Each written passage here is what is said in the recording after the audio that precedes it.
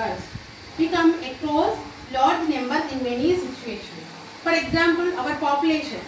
We take, if we take our population, uh, if our population is more than 130 crores. Okay, is it correct?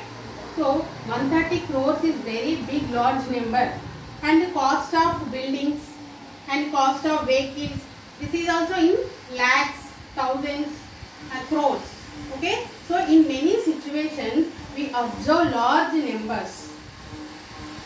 Okay, how to compare these large numbers? So our next topic is comparison of numbers. comparison of numbers. So, how to compare numbers? Suppose if we take 30 and 35. Which one is greatest number? It is easily say that 35 is greatest number and 30 is smallest number. Yes? Because it is very small digit, small number. So we can easily say that it is a small number and it is a greatest number. So if you take another example,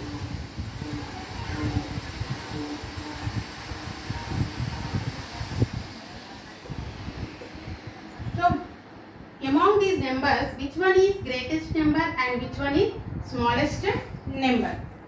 So first we count the digits in these numbers.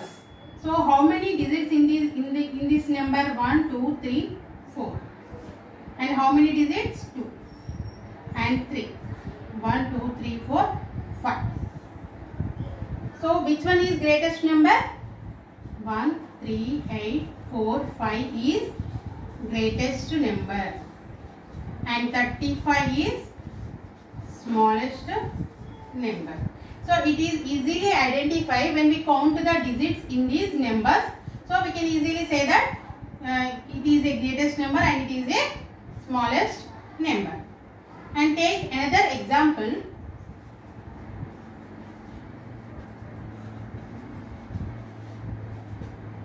So how can you say which is which one is greatest and which one is smaller?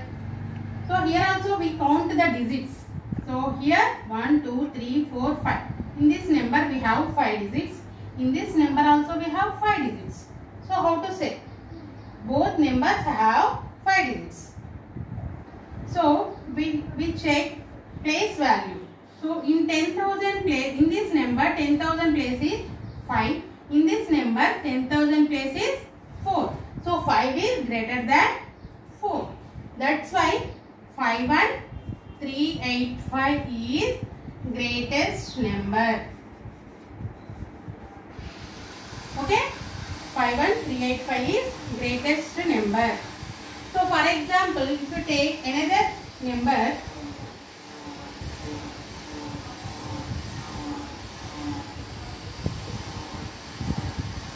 So how to compare? So here also we count first we count digits 1, 2, 3, 4, 5. In this number also we have 5 digits. In this number also we have 5 digits. Next we compare place values. So in the 10,000 place both have 5. So in both numbers have 5 in 10,000 place.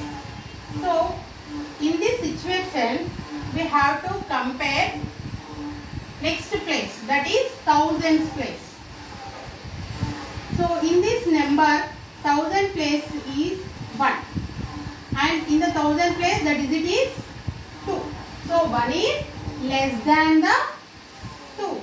So 5, 2, 4, 3, 5 is greatest number.